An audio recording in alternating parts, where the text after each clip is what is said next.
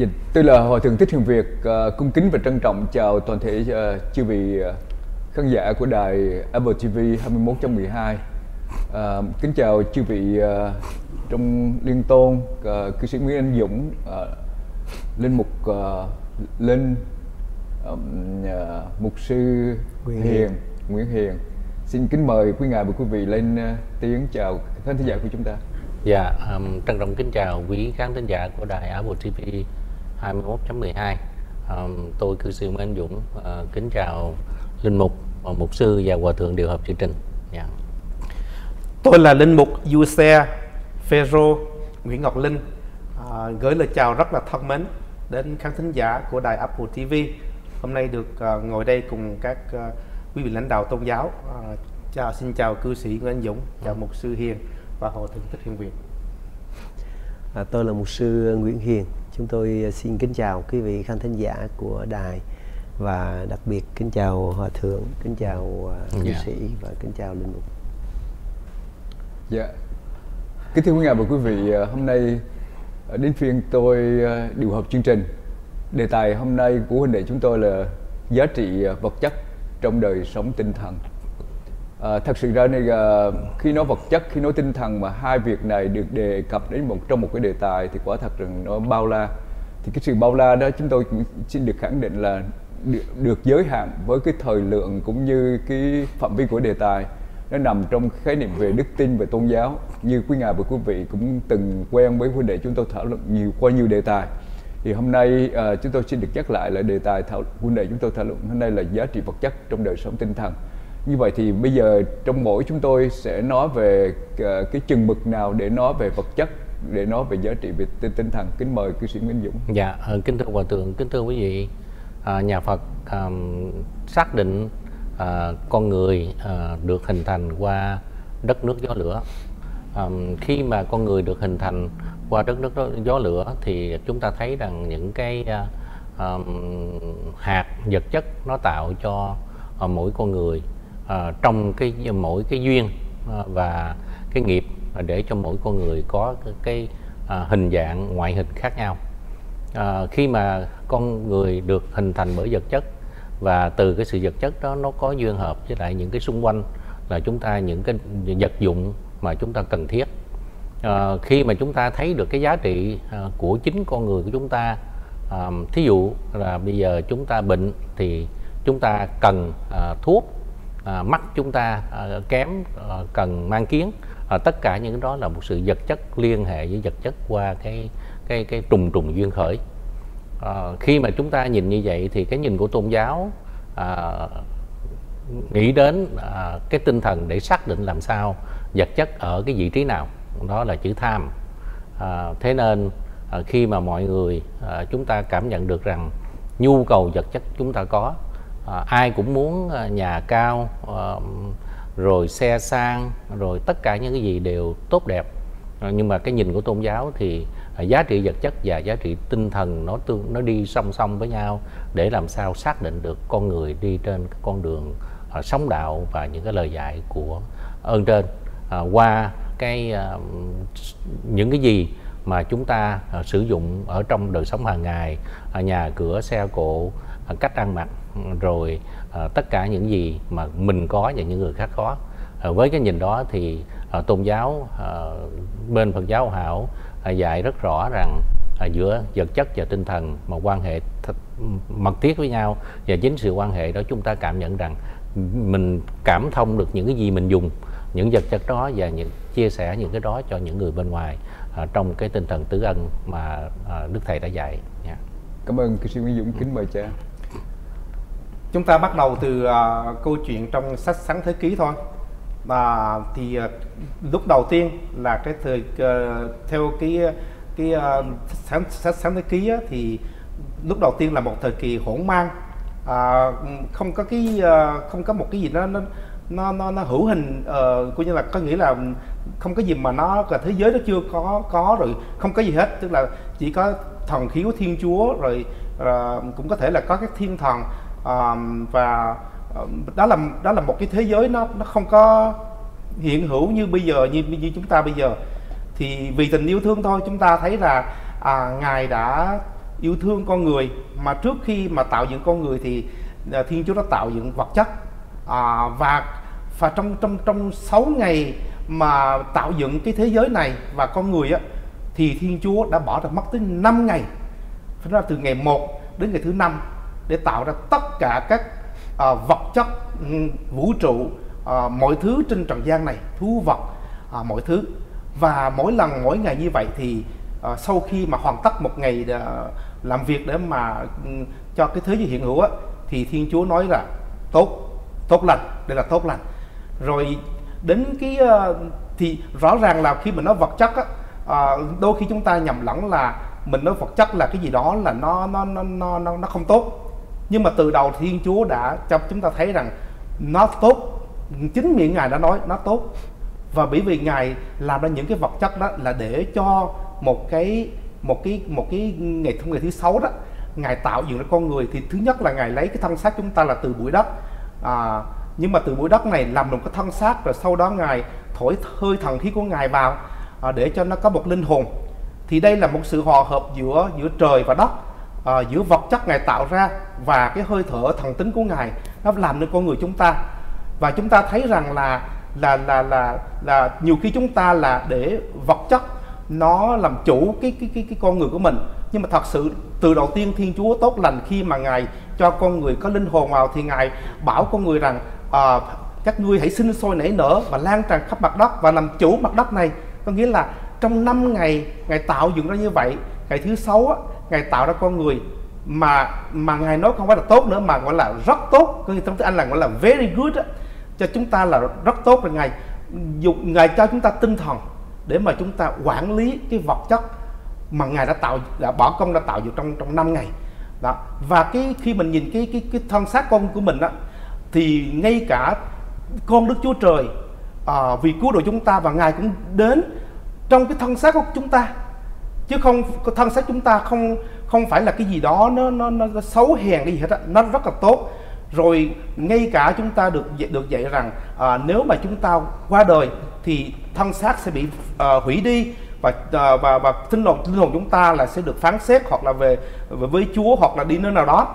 Nhưng mà cái ngày phán xét chung á tức là ngày sau cùng khi Chúa Kitô lên trong vinh quang á thì thân xác chúng ta và linh hồn chúng ta lại nhập lại là một và chịu cái sự phán xét đó tức là chúng ta được hưởng hết cái con người của mình là linh hồn và thân xác luôn hoặc là ở với Chúa hoặc là không với Chúa. Cho nên chúng ta ở đây thấy là cái sự kết hợp Chúa làm rất là hoàn hảo trong cái đời sống trong cái vật chất thể xác và cái tinh thần chúng ta.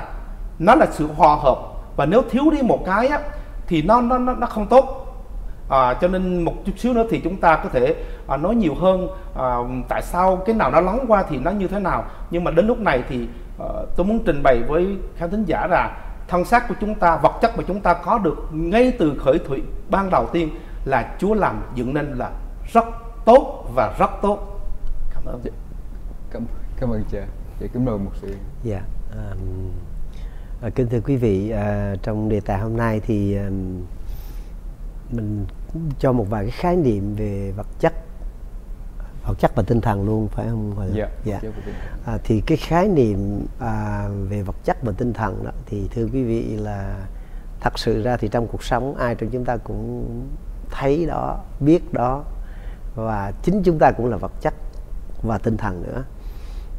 Nhưng mà để có thể mô tả nó đó thì nó rất là rộng và trong cái vật trong cái cái vật chất đó thì thưa quý vị là những gì mà mắt mình thấy mình sờ và nó có hình dáng nó có à, màu sắc nó có à, sự chuyển động. À, và chúng ta thấy chung quanh chúng ta là một cái thế giới vật chất. À, gọi là nó đa dạng đủ hình thức hết. Và trong cái cuộc sống thì phải nói rằng vật chất là một cái nhu cầu mà nó rất là cần thiết. À, nó có những cái quy luật của nó và tất cả à, chúng ta không thể nào rồi chúng ta phủ nhận vật chất. Nhưng à, có một số người thì tôn vật chất nó lên cao quá cho đến độ là tôn thờ nó và biến trở thành những vị thần chẳng hạn như người ta coi tiền bạc à, là thần tài. Đấy. Và người ta là tôn thờ nó tìm kiếm nó và nô lệ cho nó nô lệ cho vật chất. Thì trong cái khái niệm của thánh kinh thì khi nói về vật chất tức là đức chúa trời tạo dựng nên vật chất giống như ờ, linh mục ờ, linh đã vừa trình bày. Ngài tạo dựng nên vật chất và ngài cũng tạo dựng nên con người của chúng ta là một sự tổng hợp giữa vật chất với tinh thần. À, Chúa dựng nên con người ngài lấy bụi đất nắng lên hình người sau đó hà sinh khí vào lỗ người vào lỗ mũi và con người trở thành một loài sanh linh.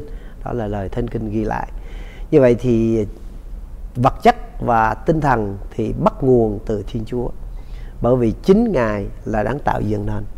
À, đó là cái khái niệm của kinh thánh. Và cả hai cái này nó có quan trọng ngang nhau hay là có cái này hơn nhau đó. Thì thưa quý vị à, trong cái um, sự đánh giá của thánh kinh thì à, vật chất nó à, là thứ yếu. À, giống như con người chúng ta đây chúng ta có thể xác có tâm hồn và có tâm linh. Đó là theo cái thần học của thánh kinh. Tức là chúng ta có cái body chúng ta có cái soul và chúng ta có cái spirit. Thì cả ba cái phần này đó là cái phần quan trọng nhất là cái cái spirit tức là cái linh à, cái tinh thần.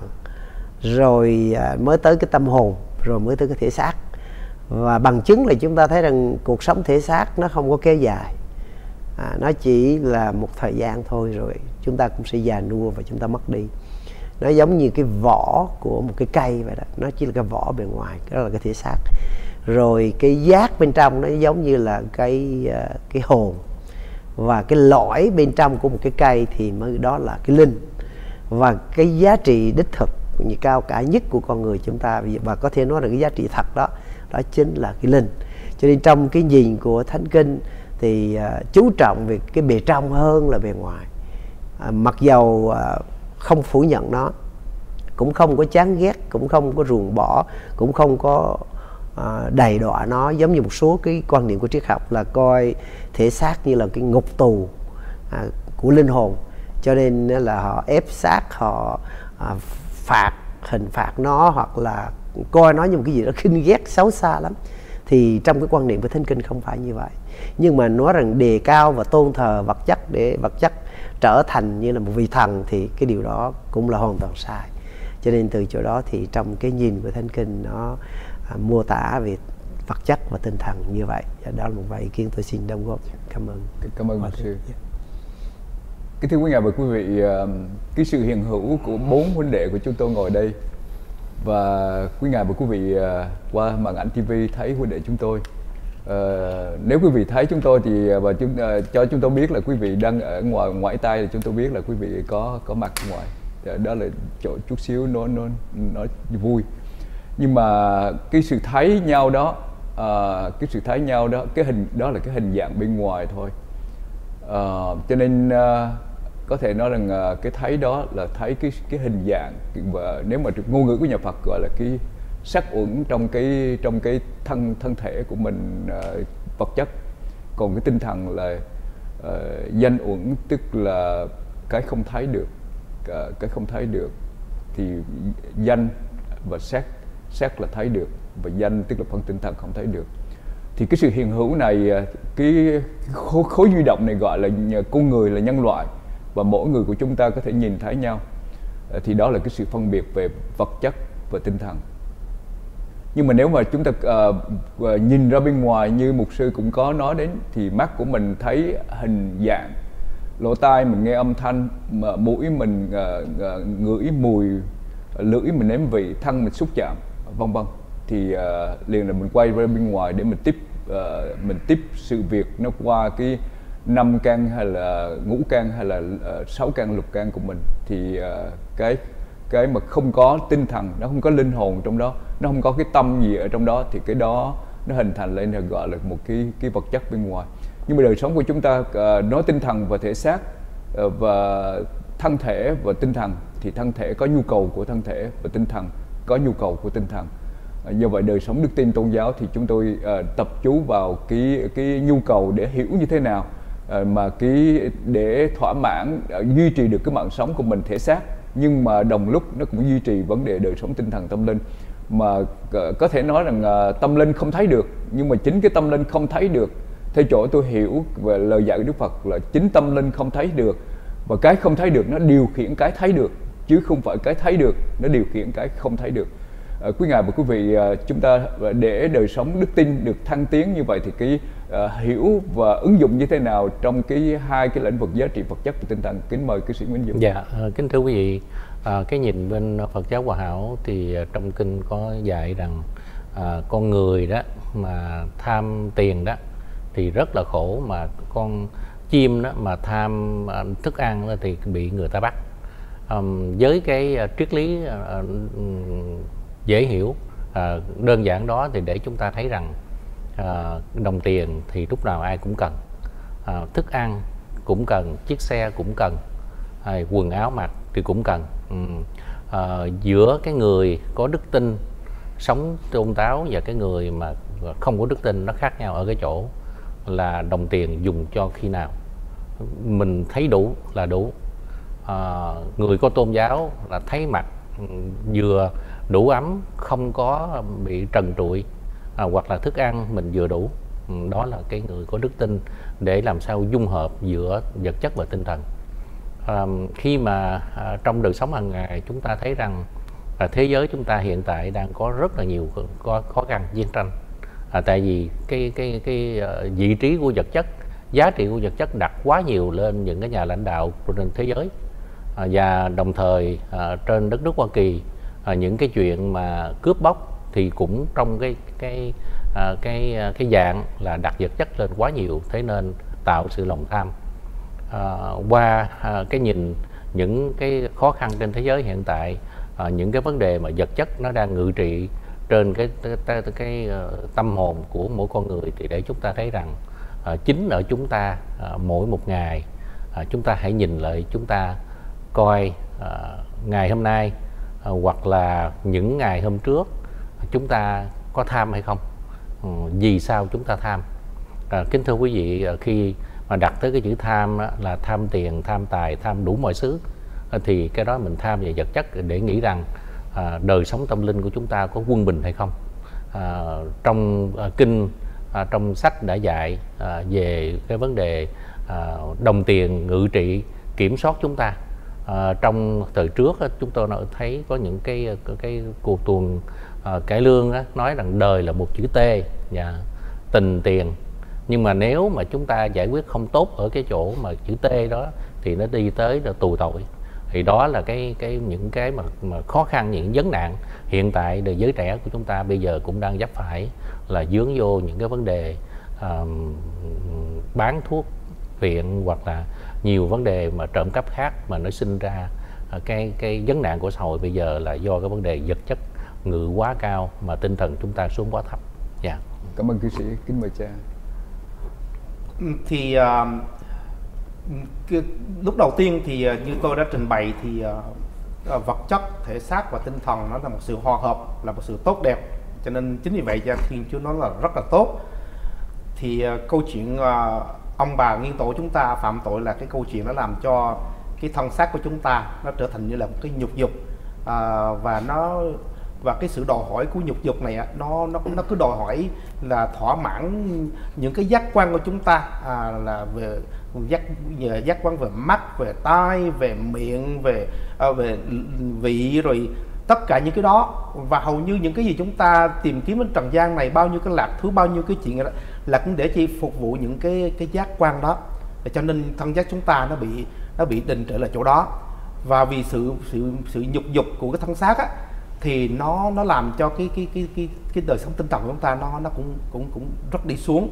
À, chúng ta hay nói là gì? À, coi trọng phần xác thì nhất nhát phần linh hồn đó. À, cho nên là à, chúng ta mà cứ chiều theo cái cái những cái gì mà của thân xác chúng ta đòi hỏi thì cái tinh thần của chúng ta chắc chắn nó không có được. Hơn nữa là khi chúng ta mà à, thân xác thì chúng ta hay hay hay hay hay hay là coi như là mình coi thử là mình mình mình được gì mình mất gì hầu như trong những cái quan hệ hàng ngày chúng ta nha, đều đều đều bị dính vào cái chỗ này hết á. Tức là ngay cả những quan hệ giữa người với người, rồi mình đi chợ, rồi mình mình mình mua cái gì, rồi mình được cái gì, rồi mất cái gì, mà nó luôn luôn nó cho mình mình cứ lúc lúc nào cũng muốn là mình được cái gì. Nhưng mà trong khi có những cái được, những cái được đó đó, thì nếu mà nếu một người mà ngồi suy nghĩ cho kỹ á, thì chúng ta lại thấy là cái tinh thần của chúng ta bị mất cái gì đó. Bị mất một cái gì đó chứ không phải là ít cái nào mà mình được cái cái vật chất được cái thân xác và được luôn cái linh hồn nó cũng không có cái, cái chuyện đó mà khi chúng ta mất á thì chúng ta lại bị tiếc nối là tôi mất cái này mất cái nhưng mà nếu mình suy nghĩ kỹ nữa thì trong cái mất đó linh hồn chúng ta được gì? Có được tốt lành hơn không? Thì trong cho nên chúng ta là phải uh, phải phải biết biết phân biệt ra uh, mình mình mình được cái gì uh, còn nói về thân xác nếu mà chúng ta uh, không chịu theo nhục dục chúng ta chúng ta sống mà như đức thánh phaolô nói đó à, các à, các con có biết thân xác các, các con là đền thờ của chúa của ba ngôi thiên chúa không? Thì nếu mình không có chịu theo nhục dục cái thân xác này á là một cái nơi mà thiên chúa ngự vào à, và à, và và làm cho chúng ta nên nên thánh à, với bởi sự hiện diện của ngài. Cho nên là nếu mà chúng ta ý thức được cái tốt á, không chiều theo những dục dục của mình mà sống trong cái uh, sống ơn sủng á, thì nhìn thân xác này nhìn như vậy nhưng mà nó là cái đền thờ đền thờ của ba ngôi thiên chúa gửi vào chúng ta. Dạ, cảm ơn cha. Xin mời mục sư thời gian hơi ít. Dạ à, để thăng tiến ở trong cái đời sống đức tin thì thưa quý vị à, thánh kinh cho chúng ta biết rằng là chúng ta cần phải hiểu rõ biết mình á cái biết mình nó rất là quan trọng. Bởi vì nhiều khi à, đôi khi bản thân mình mình không biết mình là ai mình đến từ đâu và con người của mình nó mạnh cái cái điểm mạnh nào cái điểm yếu nào.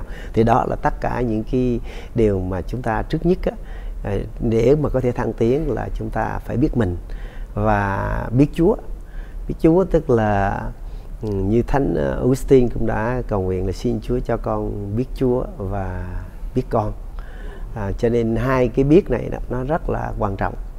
Thì uh, chính vì để mà biết mình và để mà biết Chúa để mà có thể giúp cho cái đời sống của chúng ta thật sự nhận biết được cái vật chất rồi cái giới hạn của nó rồi cái tinh thần à, rồi cách nào để nuôi dưỡng tinh thần thì à, có lẽ thời gian đã hết. Có gì thì um, chúng ta sẽ tiếp tục chương trình trong cái thì giờ tiếp đến Dạ, cảm ơn một sư. Kính thưa quý ngài với quý vị, huynh đệ chúng tôi tạm dừng thảo luận trong giây lát sau phần thông tin thương mại chúng tôi sẽ trở lại.